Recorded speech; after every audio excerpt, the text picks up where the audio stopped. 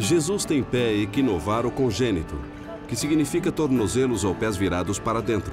Panturrilhas finas também são sintomas da doença.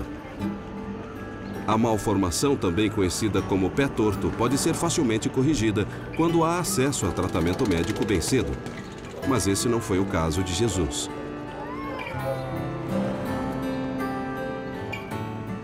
O temor da família de que ele jamais fosse capaz de andar logo foi descartado. Decía, má, má, camino, camino. Mas sua façanha trouxe somente preocupação e tristeza.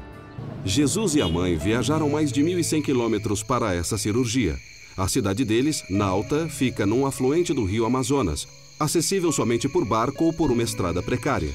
A quilômetros de distância de qualquer hospital capacitado a oferecer o tratamento especializado que Jesus deveria ter tido quando era bebê. A família dele não sabia que alguma coisa poderia ser feita, mesmo que soubessem, são pobres demais para arcar com os custos.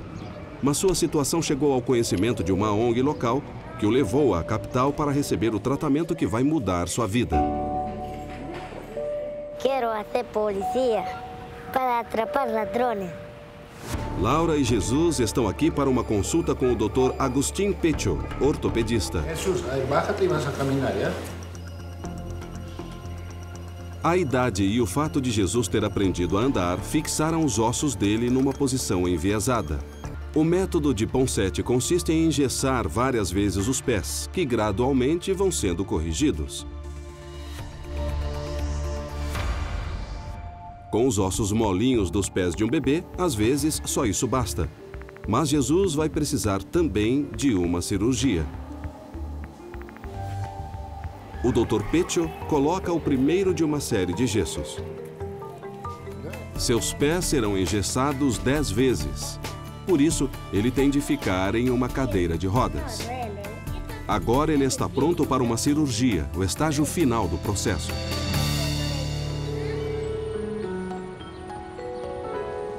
Jesus está empolgado e feliz de voltar ao hospital. Como parte da preparação para a cirurgia, ele passou algumas horas sem gesso. O tratamento parece estar funcionando, mas tem sido uma experiência dolorosa para a família toda.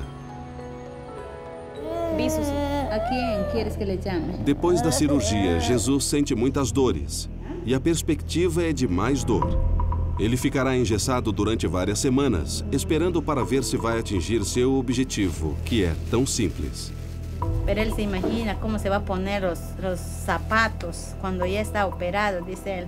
Yo quiero caminar así, mami.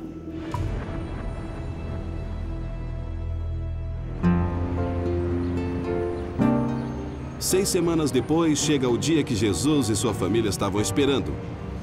É o fim de quatro meses de sofrimento.